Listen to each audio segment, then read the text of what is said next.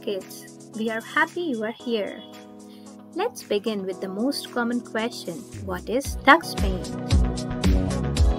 TuxPaint is a drawing program designed for children.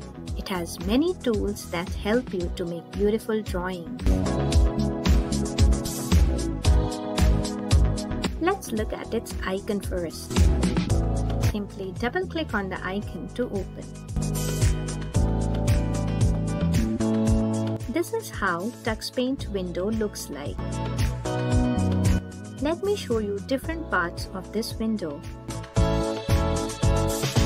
The entire window is majorly divided into four parts Tools, Subtools, Colors and Drawing Area. To make a new drawing, click New button and choose the required background. Click this button to view more options.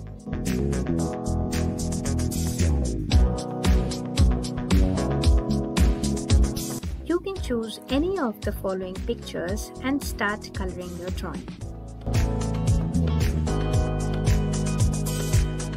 Stay tuned to this channel to start coloring your first drawing with me.